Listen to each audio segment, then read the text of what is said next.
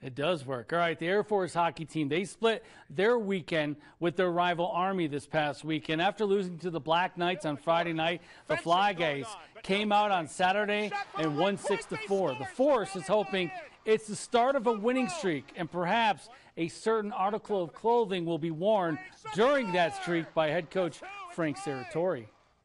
We beat West Point. I'm, I'm, I'm probably going to wear the same mm. undies until until I, I'm going to do this streak. Like, I mean, hey, we're riding a big one game winning streak right now.